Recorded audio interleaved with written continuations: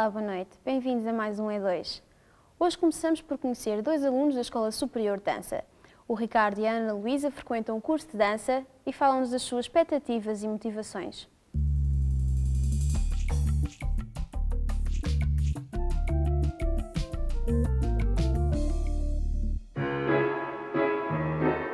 A dança é uma das mais espontâneas formas de manifestar alegria. Um hobby para muitos, um modo de vida apenas para alguns. Para os que querem transformar um passo num salto e uma pirueta num aplauso, as opções são poucas. Um dos lugares que aposta na formação de futuros dançarinos e coreógrafos é a Escola Superior de Dança. É pouco habitual encontrarmos alguém a tirar um curso superior de dança. Os 137 alunos desta escola tiveram de passar pela rotina dos exames de 12º ano, mas também se sujeitaram a outras provas, entre as quais uma entrevista e vários testes práticos de dança. Dentro destas paredes, o ambiente que se vive é único. Nas salas não há mesas e cadeiras, há espaldares e pianos e uma enorme vontade de dançar. O dia na Escola Superior de Dança começa cedo. Às 9 horas, os alunos já têm de estar equipados e preparados para as aulas técnicas. É precisamente a uma dessas aulas a que vamos agora assistir. Primeira aula é de dança clássica e exige um equipamento próprio. A Ana Lúcia e o Ricardo estão ainda no primeiro ano, mas já se habituaram a mudar de roupa todos os intervalos. E a cada aula que passa vão se sobrepondo meias, calças, camisolas, peças de roupa que marcam o estilo próprio de cada tipo de dança. Os percursos destes dois alunos são totalmente diferentes, mas cruzaram-se aqui na Escola Superior de Dança.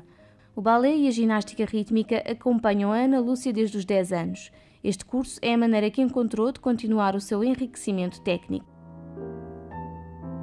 Eu comecei com ginástica, eh, comecei a ginástica rítmica com 10 anos mais ou menos. Depois estive na competição até mais ou menos aos 17 anos quando desisti.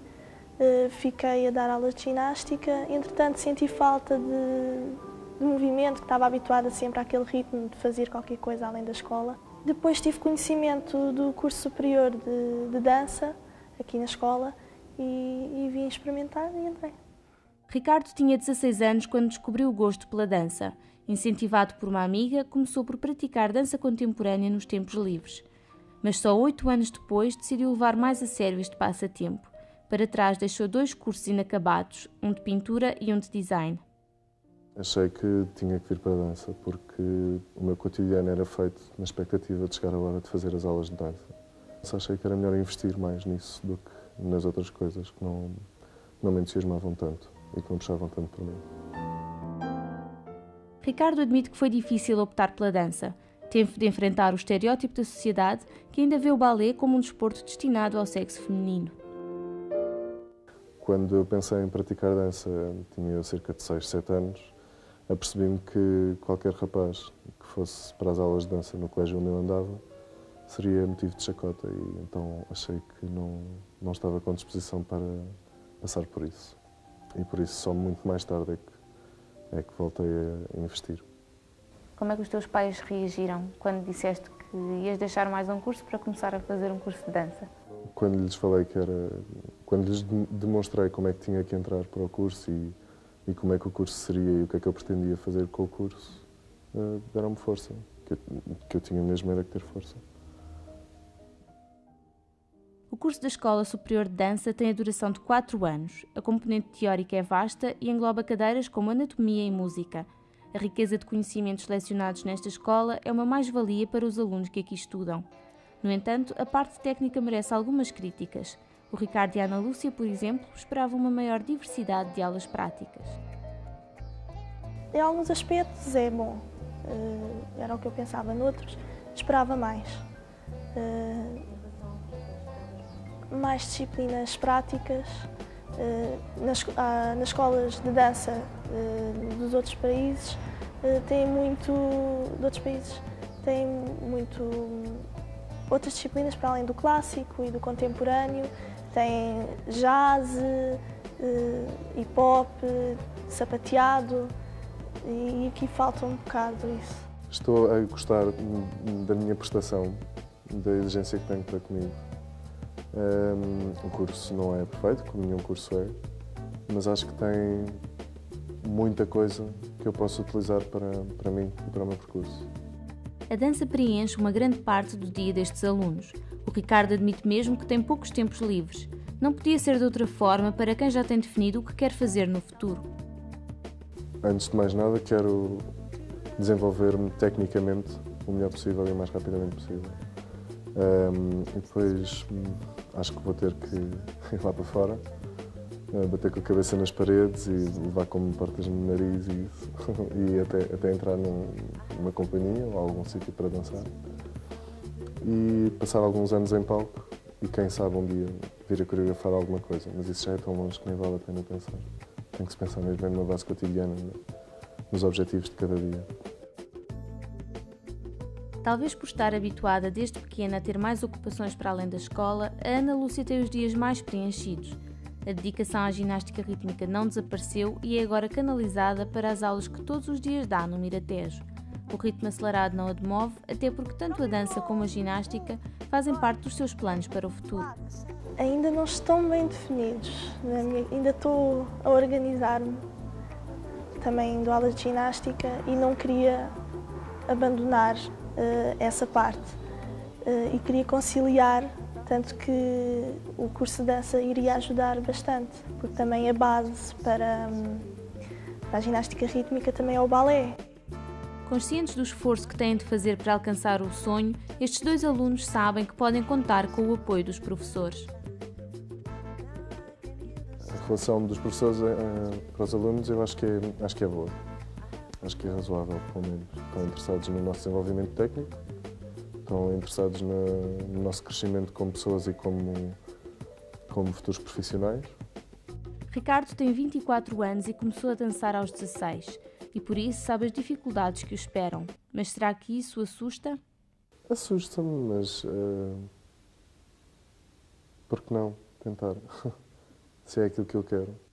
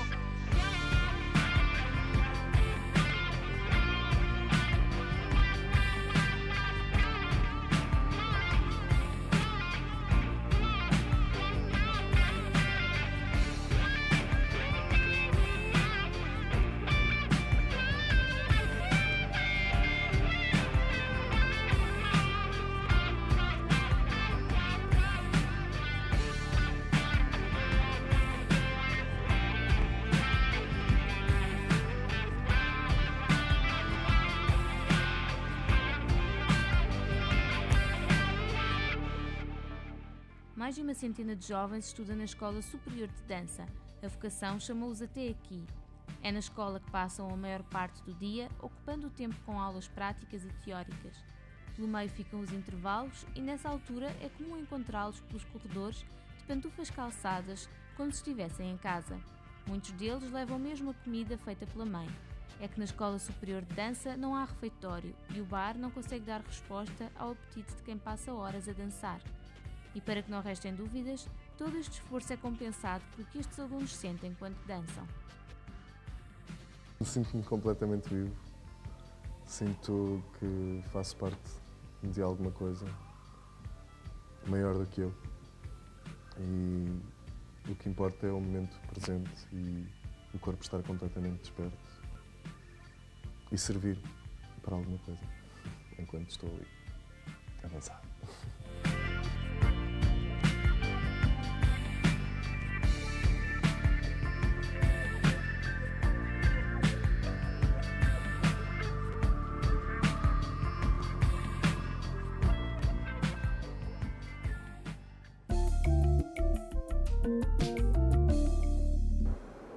Instituto Politécnico de Lisboa não para de crescer. Ao universo das escolas que o integram, juntou-se agora a Escola Superior de Tecnologia de Saúde de Lisboa. Vamos agora conhecer este espaço, onde todos os anos formam as pessoas que cuidam da nossa saúde.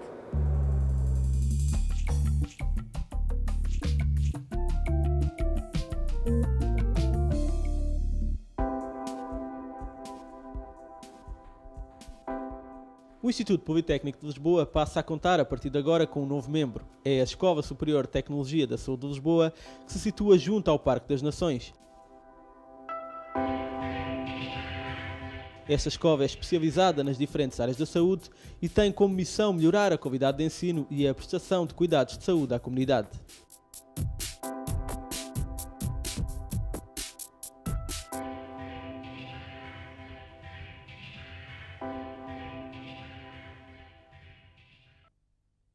Com a entrada da Escola Superior de Tecnologia da Saúde de Lisboa, o Instituto Politécnico passa a ser constituído por oito unidades orgânicas. A integração desta escola no Instituto concretiza um desfecho há muito pretendido por ambas as partes. A integração da Escola Superior de Tecnologia da Saúde eh, no Instituto Politécnico de Lisboa é uh, uma motivação de ambas as partes e o um interesse de ambas as partes. Foi vontade da Escola Superior de Tecnologias da Saúde inserir-se no Instituto Politécnico de Lisboa e foi também vontade do Instituto Politécnico de Lisboa albergar dentro do seu espaço, eh, espaço naturalmente eh, de educação, de ciência, de investigação, a Escola Superior de Tecnologias da Saúde. É claramente evidente que eh, a Escola Superior de Tecnologias da Saúde é de um interesse fundamental para o Instituto Politécnico de Lisboa, a mais-valia que nos traz é significativa, tanto mais que esta escola é uma das maiores escolas de uh, saúde ao nível nacional na sua área específica. É também uma área de grande empregabilidade, uma área uh, de grande interesse e uh, de uma grande necessidade para o país. Creio que a Escola de Tecnologia da Saúde, por sua parte, ganhará também neste processo porque se insere num conjunto de escolas de grande valor, de grande interesse e de grande história, como são todas as escolas que estão no Instituto Politécnico de Lisboa.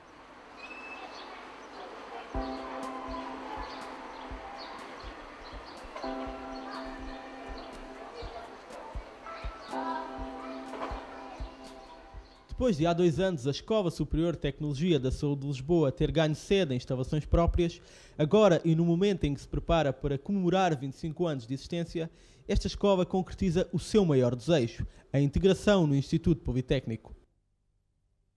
Reconhecida em Portugal como uma das melhores unidades de ensino de saúde, havia a componente teórica ao exercício prático em laboratório. O Dr. Manuel Correia é o subdiretor da escola e explica-nos como decorreu todo o processo de integração. A Escola Superior de Tecnologia da Saúde de Lisboa tem sido uma escola, no seu percurso, uma escola não integrada. E eh, hoje entendemos que não há razão para que continue a ser uma escola que, em que, existindo em Lisboa, enfim, independentemente até de, de instituições universitárias, mas pela natureza do seu ensino, e pela similitude com o ensino que se ministra no Instituto Politécnico de Lisboa, entendemos que seria a instituição eh, que nos poderia integrar, que nos poderia receber. Eh, nesse sentido, foi feita uma auscultação interna a toda a comunidade escolar, eh, tendo em vista que as pessoas se pronunciassem sobre eh, três fatores queriam continuar como escola não integrada, serem integrados, porventura, numa universidade ou serem integrados no Instituto Politécnico de Lisboa. E eh, as respostas das pessoas foram no sentido eh, esmagador, cerca de entre 70% e 80%, de que deveríamos ser integrados no Instituto Politécnico de Lisboa, que, como sabe, dispõe de serviços e infraestruturas que podem ser muito úteis para, ehm, eh, para a nossa escola também. Professor Manuel Correia, quais são as mais-valias da integração da Escola Superior de Tecnologia da Saúde no Instituto Politécnico de Lisboa? O que é que esta escola vem trazer de novo ao Instituto? Por um lado, naturalmente que agregando eh, esta comunidade académica eh, no próprio Instituto, obviamente que dá uma outra força ao Instituto Politécnico de Lisboa. Tanto quanto sei, em número de estudantes, e nesta altura temos cerca de 1.800, distribuídos por 11 licenciaturas, como já tive a oportunidade de dizer, eh, tanto quanto sei, será eh, a terceira instituição em número de estudantes quando formos integrados no, no Instituto Politécnico. Pedia-lhe agora que, numa frase, numa expressão, nos sintetizasse o espírito desta escola. A escola tem como missão preparar eh, profissionais eh, tão qualificados quanto possível para a prestação de cuidados de saúde. E isso para chegar aos níveis sempre mais elevados da qualidade da formação, porque é isso que os cidadãos esperam de nós. A Escola Superior de Tecnologia da Saúde tem 1.700 alunos que se repartem por 11 licenciaturas. Aqui, a palavra de ordem é a componente prática e o abrir desta porta marca o início de uma viagem pelo mundo da saúde.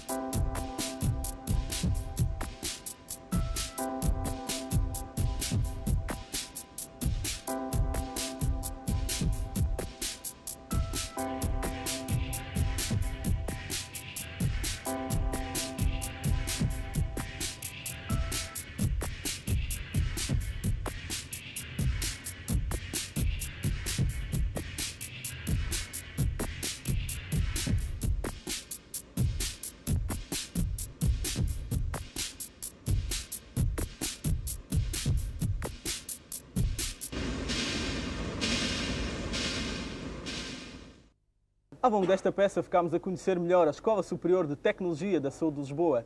Conhecemos as 11 licenciaturas, visitámos alguns laboratórios, passámos pelo bar. Aqui, como em qualquer outra escola, a grande força é dos alunos e esses estão muito contentes por passar a integrar o Instituto Politécnico de Lisboa.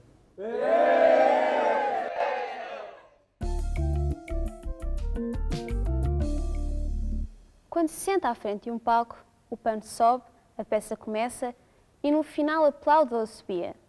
Fomos assistir à criação da peça Lendas do Mar, por isso aproveite o momento, sente-se, pois o que vai assistir não é uma peça de teatro, mas sim os passos que levam até ao público.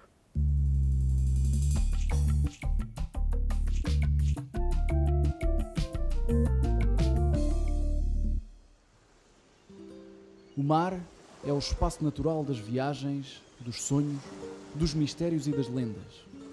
E é através dessas lendas que vamos compreender melhor o mar como algo que tem muitas vidas dentro de si e de quem depende o nosso futuro e o futuro deste planeta.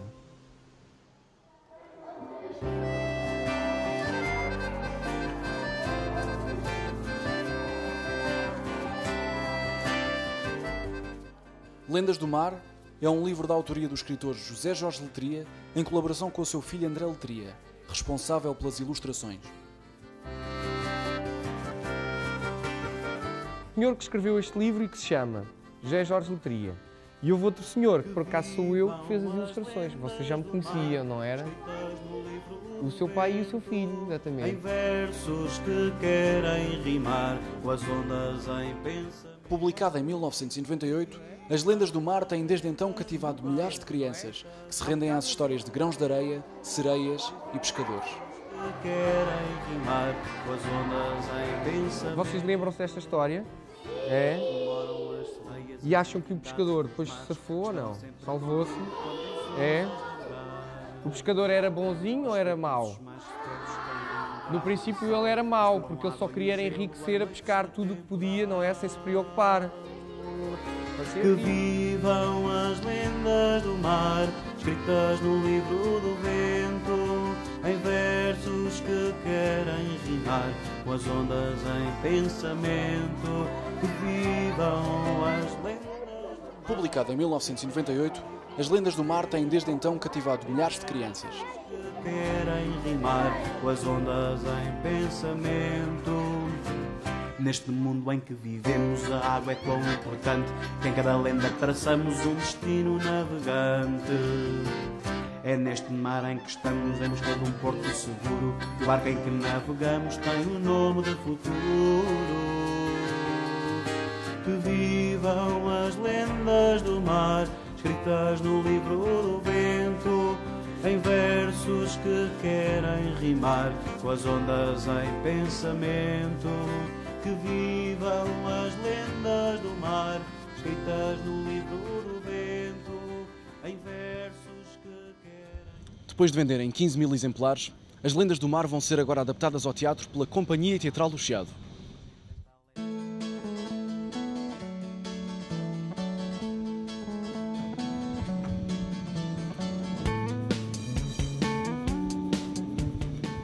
O resultado desta adaptação é uma peça de teatro para a infância que estará em cena no Teatro Estúdio Mário Viegas.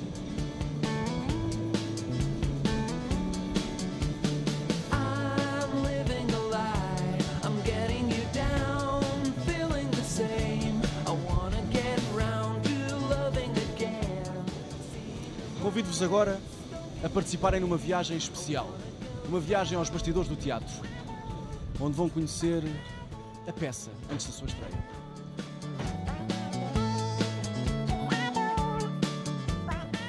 Vamos então mergulhar nas lendas do mar. Ready?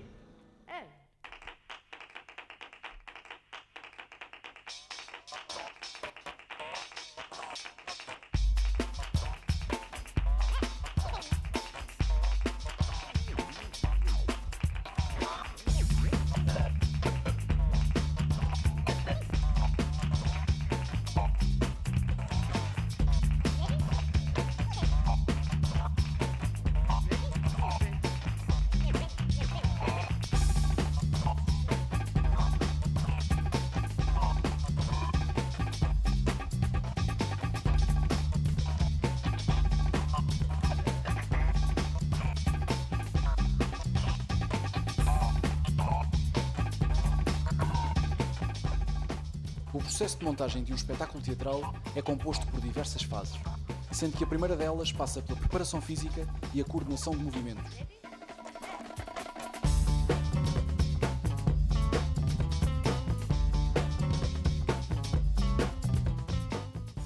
Nas Lendas do Mar, esta direção foi da responsabilidade do ator José Meireles.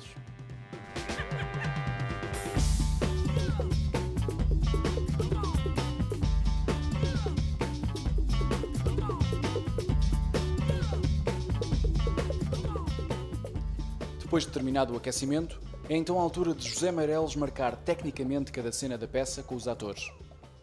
Pode ser como tu quiseres, tu com este braço é que pegas nela, pode ser do lado, até pode ser para o lado contrário.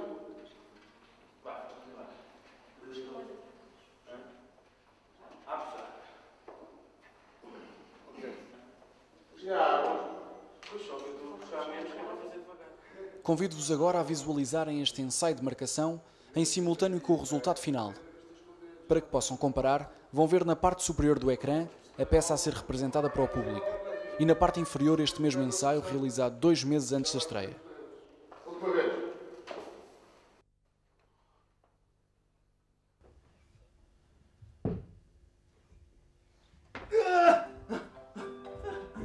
Mas a água, uma vez mais, fez conta que nada do que eu via lhe dizia respeito. E continuou a pesar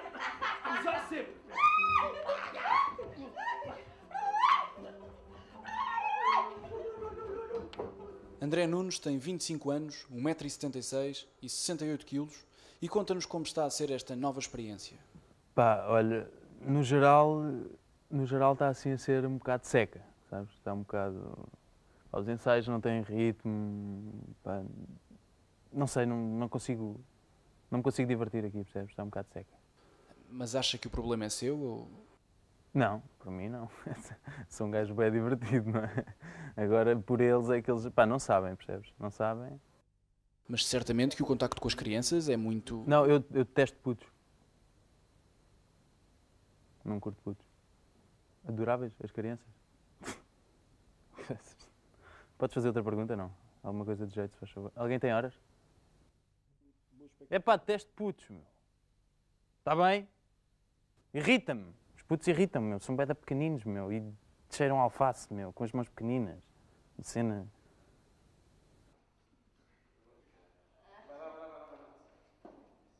Tenta não dizer tantos majestades aqui no corredor. Diz mais uma vez. Tenta dizer só. Quatro. Quatro? Sim, daqui até lá, na chegada. Disse 300 vezes majestade, né? só um bocadinho. Mas fora posso dizer mais. Hã? Posso dizer mais fora. Pois ali.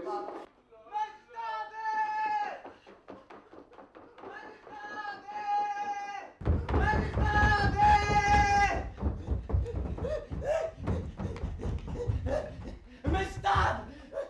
Majestade! Majestade! Majestade! Ah, já sei! Majestade! Majestade!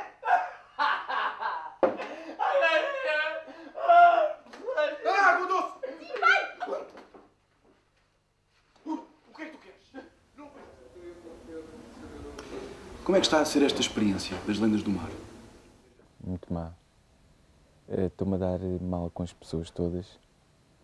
Ehm, tenho problemas de comunicação com o encenador e o Manuel Mendes e com, com o Zé. Ehm,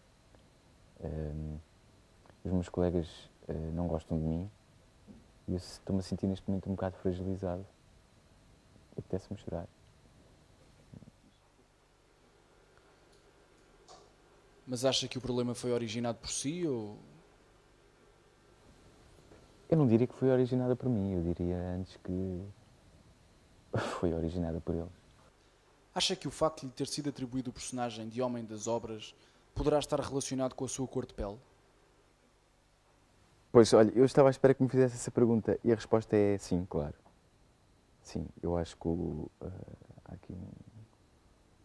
Sem querer ser. eh, e não quero implicar as pessoas diretamente, mas acho que houve uma escolha, eh, diria acertada, porque eu sou o, o único elemento desta equipa, este grupo, este elenco eh, com uma cor eh, mais escura.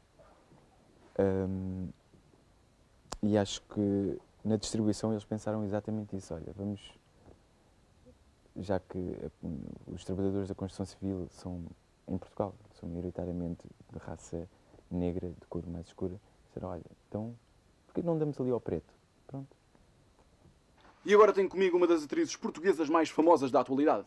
Ela é uma grande admiradora da Companhia Teatral do Chiado e da peça Lendas do Mar em particular. Fernanda, primeiro que tudo, deixe-me que lhe diga que a Fernanda é um belo manequim. Ah, eu estive a ver que a Fernanda esteve a assistir ao ensaio com muita atenção e que soltou várias gargalhadas. A Fernanda tem alguma crítica a fazer a este espetáculo Lendas do Mar ou à Companhia Teatral do Chiado em particular? Muito obrigado então por me ter concedido esta entrevista, foi um prazer.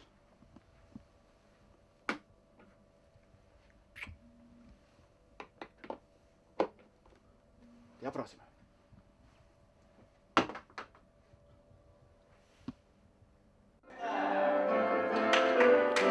As Lendas do Mar, tal como a maioria dos espetáculos de teatro para a infância, têm uma componente musical.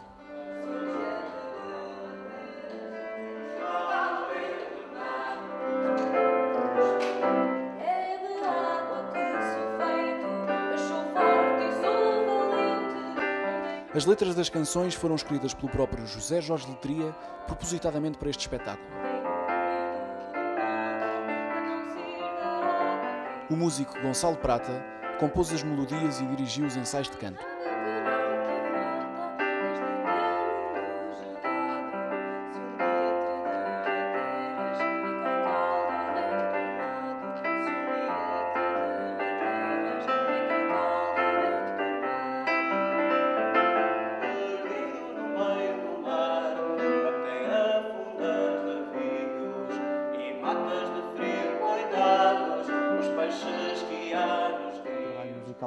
Crianças é, é, um, é um trabalho. Eu normalmente costumo, costumo dizer que, que fazer música para crianças é, é a mesma coisa que fazer música para adultos, só que com muito mais cuidado.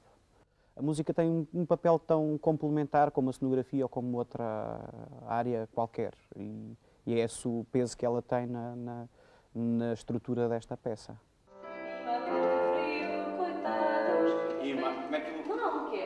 Mata. matas de frio, coitados. E mata, e matas de frio, e mata, e matas de frio, coitados. Para baixo. Sou uma parte do mundo onde há. Teresa Macedo tem 21 anos e estuda Publicidade e Marketing na Escola Superior de Comunicação Social. Abrindo-nos o seu coração, revela em exclusivo para o E2 qual é dos vários personagens que interpreta o seu preferido. Ainda não posso responder essa pergunta porque ainda não comecei a trabalhar o grão de areia. E então seria injusto eu dizer que prefiro mais um ou outro. E os seus pais aceitaram bem a sua relação homossexual com a sua colega Sara? Quer dizer, depende. Não, é- não, não, não, para já não, não, não mostram qualquer opinião sobre, sobre isso.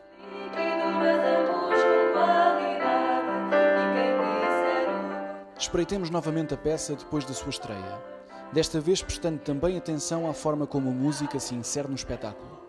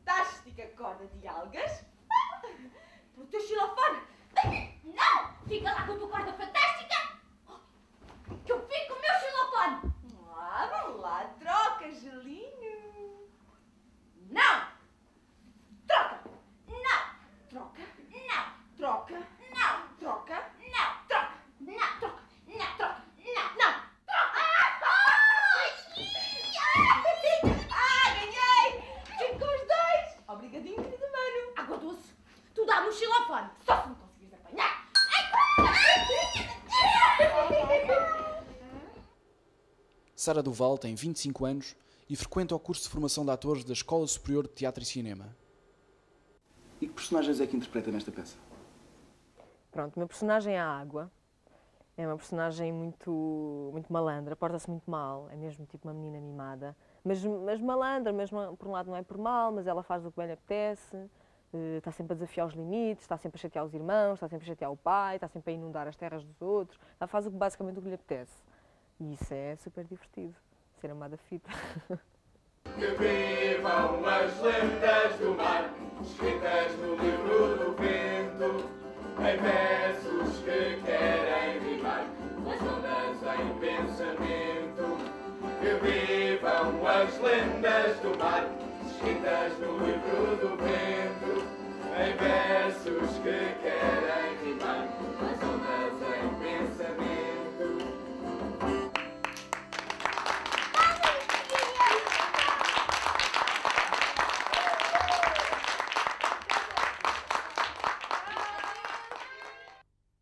agora connosco temos outro dos atores da peça Lendas do Mar. O seu nome é Frederico Moreno. Frederico, eh, como é que está a ser esta experiência de fazer teatro para as crianças? É engraçado. Uh, é a minha primeira experiência em teatro, em teatro para, para a infância. É representar tal como se estivéssemos a representar para um público adulto, mas uh, mais preocupados com alguns detalhes, com alguns pormenores, para que as crianças percebam bem a história da peça. Frederico, mas eu sei que você simultaneamente também está a tirar um curso de jornalismo. É verdade. Eh, o que é que lhe dá mais prazer? É fazer entrevistas ou interpretar personagens? Sabe, é curioso que você faça essa pergunta. Ah, é que essa é uma questão que eu coloco muitas vezes a mim próprio. Sabe, é que, por um lado, ah, o percurso do ator é um percurso algo. Algo. sinuoso? Isso. Enquanto, por outro lado, hum, o caminho do jornalista nos dias de hoje acaba por ser também um pouco. sinuoso?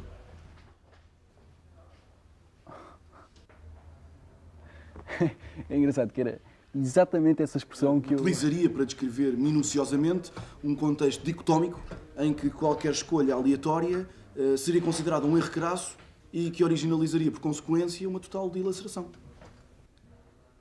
Exato. Eu, por acaso, apesar de trabalhar como jornalista, eh, também já fiz assim algumas coisas em teatro. Eh, por isso eu sei como é difícil conciliar as duas coisas, eu, eu percebo perfeitamente. Aliás, quando olho para o Frederico, quase que me vejo ao espelho. Eu tenho que fazer esta pergunta. Eh, Com o tempo assim tão ocupado, o Frederico consegue arranjar tempo para, para ter uma namorada? Quem é que tu pensas que és? Se eu tenho namorado ou não tenho, é uma questão que não diz respeito a ninguém, muito menos a ti, não é? Daqui a nada punha-me eu a perguntar se você tinha namorado, acha bem? Peço desculpa, quer dizer, eu respeito a sua privacidade. Quem sou eu, não é? Mas tem ou não tem? Não. Eu também não. Sabe, Frederico, é que eu, eu já acompanho o seu trabalho há alguns anos. Eh, E eu não sei se alguém já lhe disse, mas o Frederico. O Frederico tem uma bela imagem. Tem, tem presença. E isso é muito bom no ator. Sabe, você, você coloca as questões com muita clareza. Você é muito objetivo. Sabe que isso é muito bom no jornalista. Frederico, ahm, podia dar-me um autógrafo? Com certeza.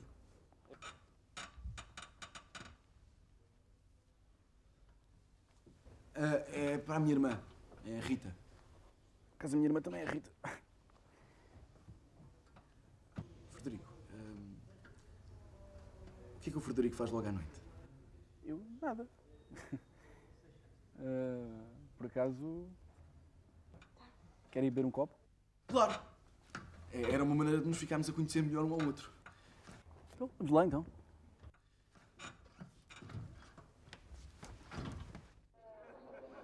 O ambiente vivido após a estreia das Lendas do Mar foi de festa. Na plateia estiveram algumas personalidades, das quais se destaca José Jorge Letria. E que diz o escritor ao ver atores encarnarem personagens da sua autoria?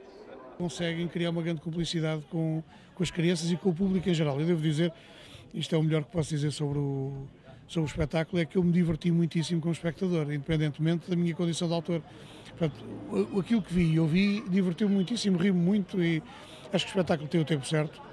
É, sabe, para crianças, com o tempo de atenção médio que eles têm, não se podem fazer espetáculos longos. É, E eu acho que tem eh, as doses certas de tudo para ser um êxito. Portanto, isto seria uma aposta portanto, para trabalho para dois anos eh, dedicado às crianças, porque temos que começar pelas crianças, não é? Queremos gente no teatro, as crianças podem começar na escola, mas nós também, acho que faz parte de nós, atores e pronto, pessoas que trabalhamos no teatro, eh, começar por eles e, pronto, e fazermos o, o melhor que sabemos e conquistá-los para que daqui a 10 anos eles continuem a ir ao teatro.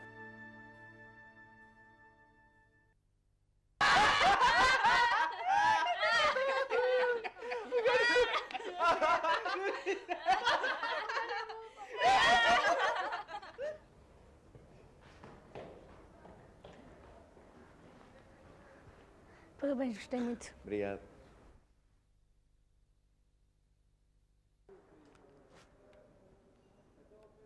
Então, gostaste? Hã? Estás com vergonha. Diz, diz, podes dizer.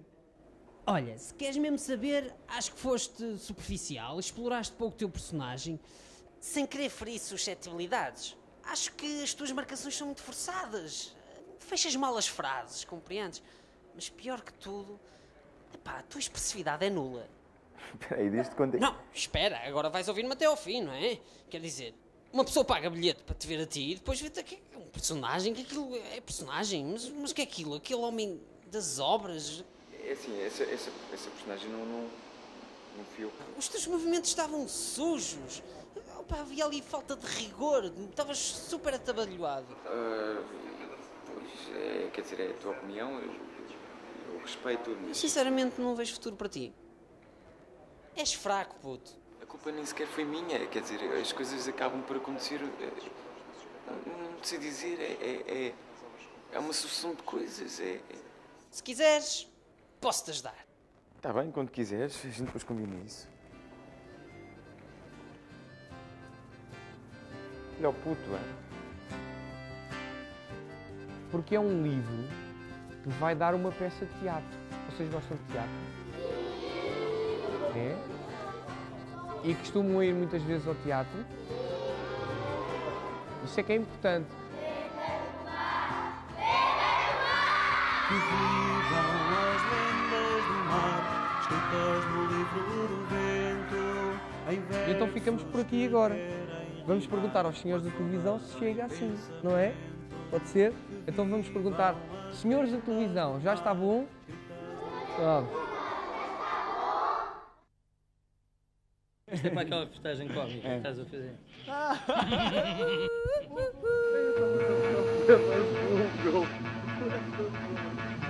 E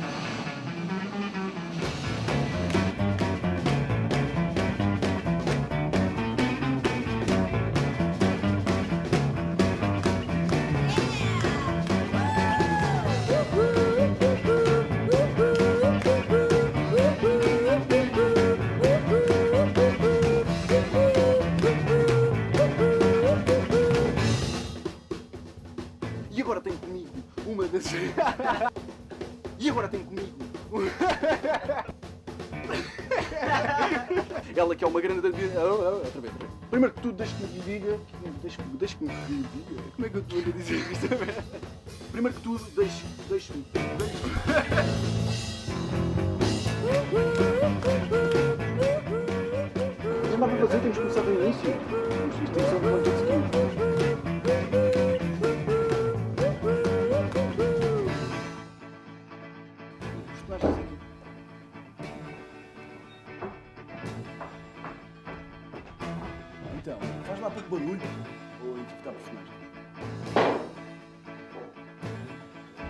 Oh, obrigado,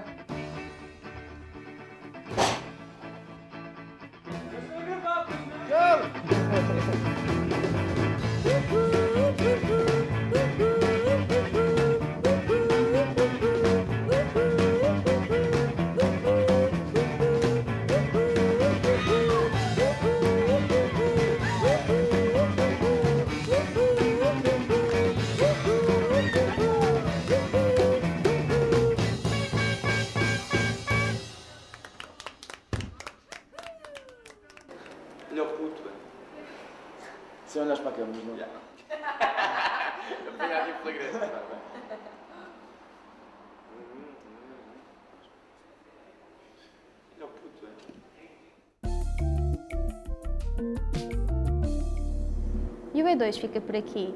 Aproveitamos para lhe dizer que durante o mês de agosto as nossas emissões irão ser interrompidas, mas voltamos dia 2 de setembro. Até lá pode consultar o nosso site www.e2.ipl.pt, onde poderá encontrar todas as informações sobre o nosso programa. Aproveite o verão e tenham umas boas férias.